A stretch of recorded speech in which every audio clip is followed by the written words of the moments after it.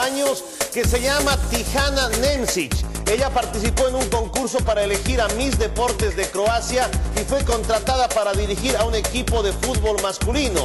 La ex candidata del concurso Miss Deportes de Croacia hará historia en su país luego de ser contratada para dirigir al NK Victoria Boyakovac, un equipo de fútbol regional masculino.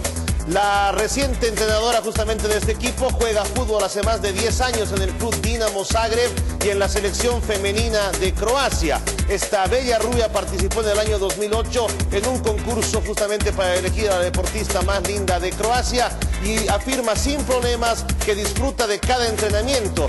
Los muchachos me escuchan atentamente y no crean problemas. Lijana Nemcic, 24 años, entrenadora de fútbol en Croacia.